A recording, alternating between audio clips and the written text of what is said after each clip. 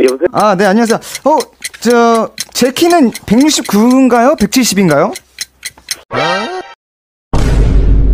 140인가? 그런가? 아니요, 169. 땡 쳐주셔야 됩니다. 네.